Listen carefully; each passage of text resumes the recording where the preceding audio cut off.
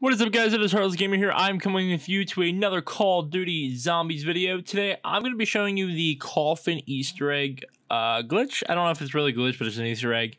Uh, we're going to get started here. Just a couple things. You need to turn the power on and put the Pack-a-Punch uh, machine together in order to do this glitch. So we're going to get started here. So once you get all that done, there's going to be five blue orbs around the power room that you got to go shoot. So the first one's to be located under here, under the window.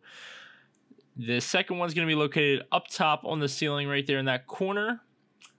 The third one's going to be in this barrier here. Now, if the barrier is repaired, it's a little hard to shoot with a shotgun. Uh, you know, so but just give it your best shot. You just got to get it to touch one of the bullets, and it'll go just like that.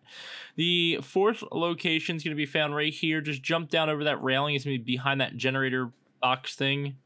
And then your fifth one's going to be next to the power on the right side up behind the desk. Once you do that, it'll go through its thing where you go through the uh, portal automatically. Once you do this, it will end the round, so keep that in mind.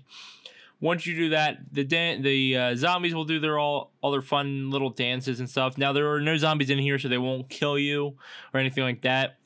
Now some of the things that you can get out of here uh, epic and legendary weapons. You could get the ray gun out of here as well as the D Machine uh Wonder Weapon, Wonder Weapon, yeah. Um, and you also get a free perk. It seems to be Jug most of the time when I get it, if not all the time. Uh, so those are just some of the things that you can get out of this box. It's a cool little Easter egg to do. Uh, definitely worth it if you're playing solo. You get free Jug uh, nine times out of ten.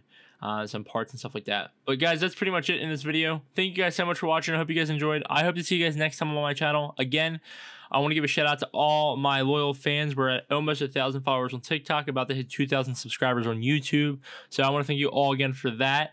Uh, definitely stay tuned for more content as I try to post weekly. Again, guys, I'm out of here. Bye.